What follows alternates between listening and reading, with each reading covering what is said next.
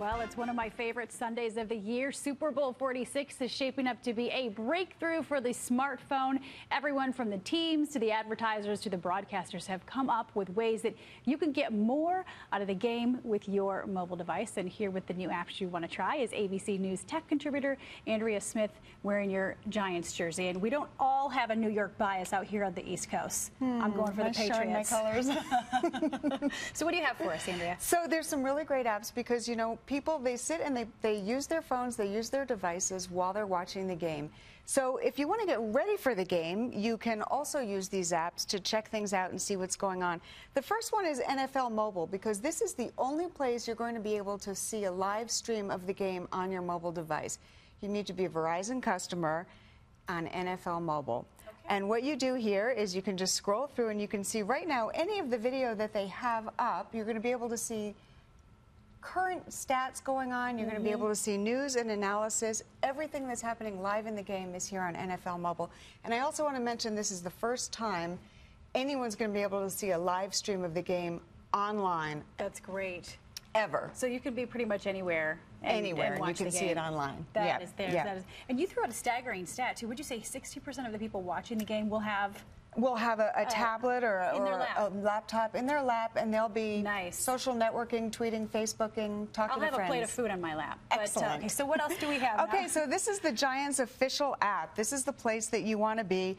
This will give you right now everything going on with the Giants, the latest news. You can watch videos. You can see the guys all arriving in Indiana getting ready. You can see stats. Again, this is all going to update itself. What I like here is you can see it'll aggregate all mm -hmm. of the mm-hmm. tweets going on, anything that says Giants in it. All the Twitter nice. feeds are going to come up here. You can see the schedule, and or if you just want to argue stats with people, this is the place to go to find out what you're talking about. Heads. Exactly. There's a lot of them out there. Now, you know, I'm not showing favorites. There is a Patriots app oh, as well. Although it's on the, the small, the small phone. This is the official Patriots app. Same thing. You can get news. You can get videos. What I love here is they have a picture gallery and they show they show pictures of their cheerleaders here. Nice. Uh, yeah, I never saw that before. Okay updates, live updates throughout the game, fan stuff. You might be Twitter. the only female that's looking at the cheerleader gallery. Yeah, probably. now, the other thing here is if you're a sports fan, you already have this. I do. ESPN. Love this. This is my favorite app on the planet. It's great. Mm -hmm. ESPN Score Center. This is where you want to be. Everything you need to know is right here. Mm -hmm. The day of the game, and even leading up to the game, because if you want to know, you know, your stats and kind of trash talk stats. with your friends, yeah. Perfect. And also there'll be live analysis coming up here during the game. So okay. this is also the place to be. And then the other thing that people also talk about is, of course, the commercials.